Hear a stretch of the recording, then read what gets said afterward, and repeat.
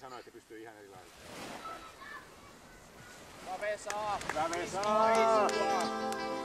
Alkaa olla niinku urheilun näköistä. Hyvä Vesa!